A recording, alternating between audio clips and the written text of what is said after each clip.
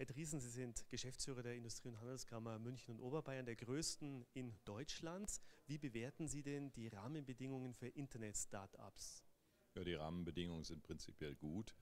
Äh, der Markt ist aufnahmefähig geworden.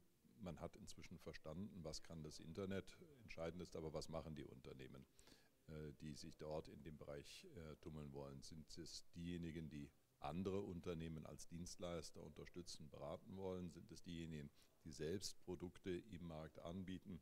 Startups im Internet sind vorwiegend Handelsunternehmen, das heißt eine moderne Form des Versandhandels. Aber da gibt es eine Vielfalt.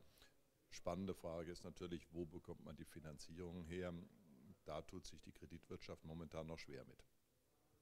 In der Diskussion bei der Hans-Seidel-Stiftung über Internet-Startups ist die Diskussion auch in Richtung Medienkompetenz gegangen, gerade für junge Leute. Ist es denn Aufgabe der Bildungseinrichtungen, der Schulen oder kann die Wirtschaft, die Industrie da auch mit unterstützend tätig werden?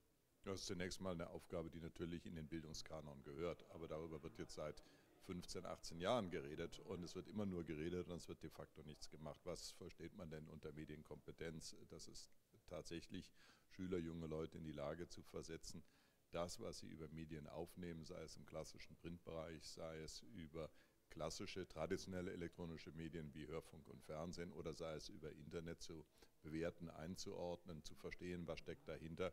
Viele Jugendliche, junge Leute können das überhaupt nicht. Und das ist eine Aufgabe, die als Basiskompetenz schlichtweg in der Schule vermittelt werden muss. Dankeschön. Bitte. Gut, wir machen